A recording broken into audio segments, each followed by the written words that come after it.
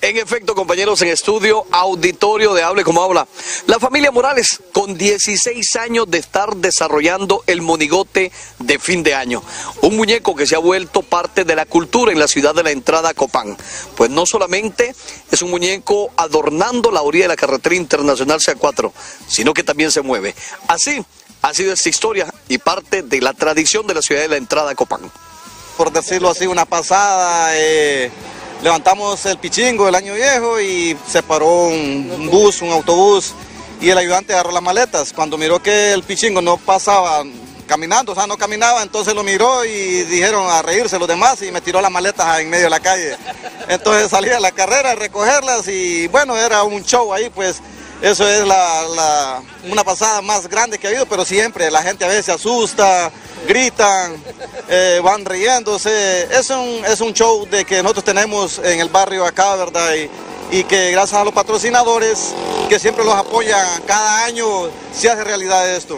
Lo hacemos de, como le ponemos bizarra en, los brazos, en la cintura. Pues ese es el, el, el, ambiente que le ponemos a este barrio. Pero, pero, ¿todos los años lo queman? Todos los años.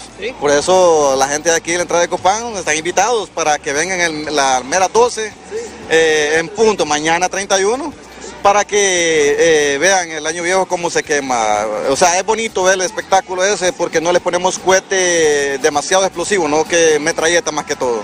Y al final, el mero 31, ponemos una, una disquito aquí para bailar. La, eh, mi mamá regala toallas, va al Salvador, va a traer eh, cuestiones para regalar, ¿verdad? Entonces hace un medio bailecito y gracias a Dios todo bien. Viene bastante gente a ver el muñeco. Es correcto. El mero día, el mero mañana, mañana, mañana, todo el mundo viene a tomar su foto porque es el último, adiós, el último día que va a estar parado, pues. Este 31 de diciembre, a las 12 de la noche, tronará el muñeco que se mueve a la orilla de la carretera internacional CA4 el de la familia Morales, y que precisamente tiene 16 años de estarse desarrollando esta tradición y aparte de ello, una fiesta bailable a la orilla del Internacional CA4. La población está invitada. Desde el occidente del país, las imágenes son de David Villeda. Yo soy Santiago López. Regresamos a estudios principales de Hable Como Habla Televisión Digital.